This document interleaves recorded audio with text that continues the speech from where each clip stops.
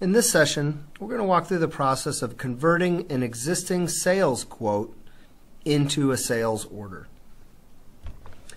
From my home page, I have visibility to outstanding documents by type through the use of my Windows tiles.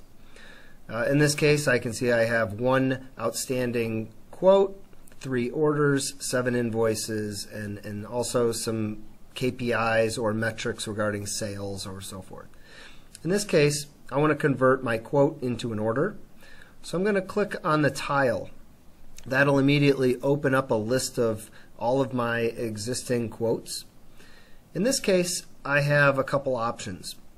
If I, am, if I know I want to convert this quote into an order, directly from the list, I can simply hit the Make Order button. This will convert this sales quote into a sales order, um, and then it will assign a new sales order number, but also retain the original quote number. But perhaps I need to confirm the items and quantities and prices on the quote before I uh, convert it into an order. So I'm going to click on um, my assist button here and select edit. This will open up the sales quote details page.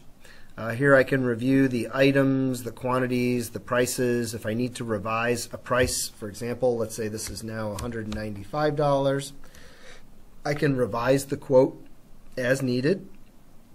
And then once I'm sure I'm ready to convert the quote, I'll click on the Make Order button from this page.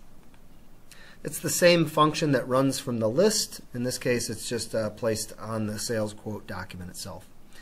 Uh, I do get a message asking me to confirm that I do want to convert that quote to an order.